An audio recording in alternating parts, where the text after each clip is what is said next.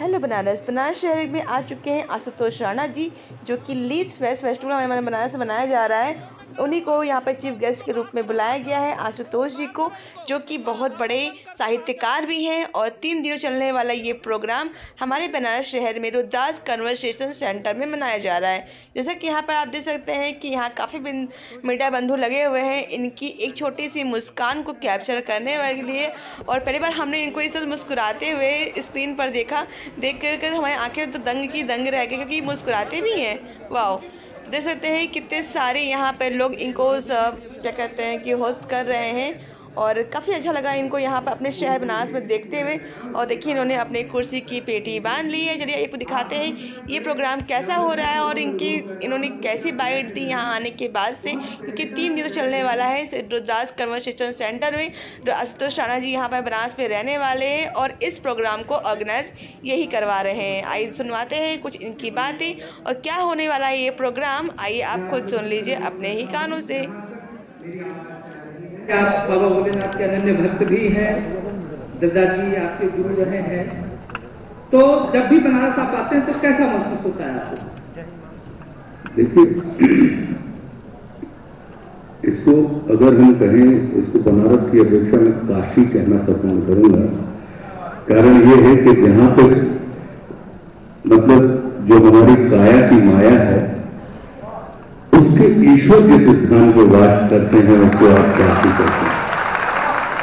तो यहाँ पे अगर आप देखें तो मुझे जब मैं सबसे पहले बार जब यहाँ आया था, जब सागर यूनिवर्सिटी में पढ़ता था पर आपको एक जानकारी और दे दूँ कि मैं उन्नीस सौ इक्यानबे में यहाँ पे बीएचयू में नेशनल यूथ फेस्टिवल हुआ था, जब हम सागर विश्वविद्यालय से यहाँ पे आए थे और हम अपना नाटक लेके आए थे और हमारे नाटक को अवार्ड मिला था। और उन्नीस सौ इक्यानबे मतलब उन्नीस सौ इक्यानबे में ही मेरा नेशनल स्कूल ड्रामा में सिलेक्शन हो गया तो काफ़ी वो स्थान है जहाँ से आशुतोष राणा के आकाश को और ऊँची छलांग लेने का अवसर मिला है। तो आप अगर देखें तो हम यही कहेंगे कि हमारे छात्र जीवन का जो आखिरी विश्वविद्यालय था, वो बनारस विश्वविद्यालय था जहाँ पे हमने नाटक का प्रदर्शन किया और उस नाटक के प्रदर्शन के बाद राष्ट्रीय नाट्य विद्यालय दिल्ली में हमने प्रवेश किया और हमारी दिशा और दशा दोनों ही लगातार बदलती चली गई और जब मैं यहाँ आया था तो मैंने देखा था कि यहाँ पे एक इंच पैर रखने के लिए जगह नहीं होती बहुत छोटी छोटी गलियाँ हैं। लेकिन इसके बाद भी जिस शहर में एक इंच पैर रखने की जगह ना हो, उस शहर के वासियों के चेहरे पर डेढ़ इंच मुस्कान कैसे बनी रहती है?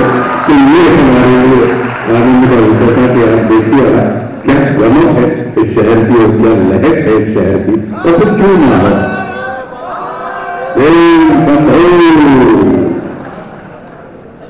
सर जैसा कि आप बताएँ, काशी और, काशी से आपका पुराना लगाव रहा है। आप कह रहे हैं कि काशी से आपकी उन्नति की यात्रा और अच्छी हुई। मैं जानना चाहूँगा सर कि जब आप, जैसा कि आपके जीवन से लगता है कि शुरू से ही आपकी अभिनय में रुचि रही है तो आपने क्या सोचा था उस समय जब आपने अपनी यात्रा शुरू की कि उस समय का आशुतोष आज के आशुतोष तक पहुँच पाएगा बहुत ईमानदारी की बात मैं आपसे करता हूँ। मैंने अभिनय में मेरी रुचि रही, अभिनय हम लगातार करते रहे। ये हमारे परिवार की, हमारे माता पिता की हमको एक बहुत अच्छी चीज़ हमें ये लगी कि माता पिता का ये कहना था कि भाई, अपने पैशन को, अपना प्रोफेशन बनाना। अगर तुमको प्लेजर चाहिए तो हमने उनसे पूछा, अपनी माता जी से जब हम छोटे थे, मैंने कहा कि पैशन को ढूँढने का ज़रिया क्या हो सकता है? तो वो बोली कि, जब तुम स्कूल जाते हो के बाहर जाते हो तो तुम आखिरी बार अपने आप को कहाँ देखते हो? तो मैंने कहा, मैं आईने में देखता हूँ। बोले, आईने में क्यों देखते हो? मैंने कहा, ताकि मुझे पता लगे कि मेरे बाल ठीक हैं कि नहीं है, बटन मेरी ठीक है, मेरी शर्ट इनकरेक्ट हुई है, नहीं हुई है। तो बोले, इसका मतलब है कि आईना तुमको तुम्हारे बाहर के रूप को व्यवस्थित करने का ज़रिया है। वो तुमको बाहर से तुम कैसे दिख रहे हो? अगर आईने में कहीं कोई दोस्त तुमको तुम्हारे प्रतिबिंब में दिखाई देगा तो तुम उसको सुधार लोगे, मैंने कहा, जी बिल्कुल सुधार लूँगा।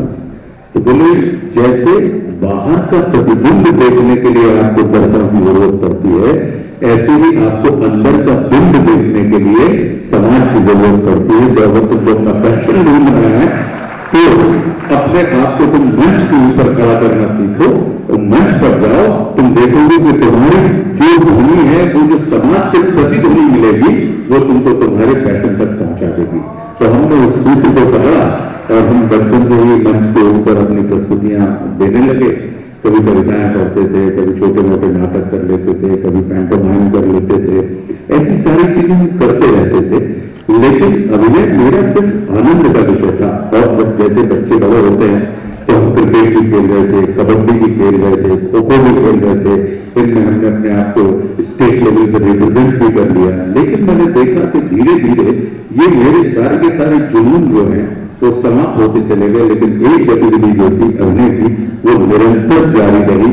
स्कूल बदला, स्थान बदला क्लासेस बदलती चली गई, कक्षाओं में उत्तरोत्तर प्रगति करते चले गए। लेकिन मेरे अभिनय का जो शौक था, वो मेरा बरकरार रहा। और वो आज तक बरकरार है तो उससे मुझे लगा कि शायद फिर अपने जीवन में मैंने कभी ये सोचा नहीं था कि मुझे एक प्रोफेशनल के तौर पे अभिनेता बनना है। लेकिन क्योंकि मेरी पूरी की पूरी ज़िंदगी जो है, मेरे आध्यात्मिक गुरु परम पूज्य पंडित श्री देव जी शास्त्री, जिनको हम सभी शिष्य प्रेम से दत्ता जी के नाम से बुलाते थे, जो 2020 में जिनका देहावसान हो गया तो जब माता जी मेरी उन्नीस सौ चौरासी, नाइनटीन एटी फोर में मेरी माता जी का देहावसान हो गया। और उस समय हमने मतलब स्कूल भी पास किया था इलेवेंथ उस समय इलेवेंथ हुआ करती थी। अब ट्वेल्थ होती है। तो हम लोग इलेवेंथ क्लास कॉलेज में जाया करते थे मैट्रिक कहलाती थी। तो उसी वर्ष उनका देहावसान हुआ और ये योग का विषय है कि मैं माँ की गोद से निकला और उन्नीस में ही हमें परम पूज्य गुरुदेव भगवान दत्ता जी का सानिध्य मिल गया तो माँ की गोद से निकल के सीधा महात्मा की गोद में आके बैठ गया। और फिर उसके बाद उन्होंने हमारे जीवन की एक एक उंगली पकड़कर, हमारे रास्ते पकड़कर जो हमको पथ प्रदर्शन करते चले गए, हमको चलवाते चले गए। और फिर उन्नीस सौ इक्यानवे में जब मैंने ये काम यहाँ पे किया तो उन्नीस सौ इक्यानवे में भी गुरुदेव भगवान ने उनसे कहा दत्ता जी ने, कि बेटा वक्त आ गया है कि अपने शौक को अपना व्यवसाय बनाना है।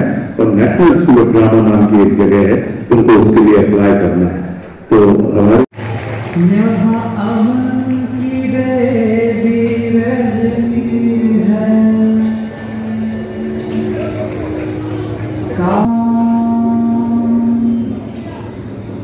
इस नगरी को मेरा प्रणाम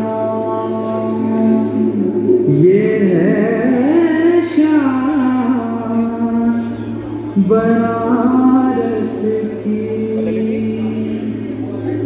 यही पहचान। बना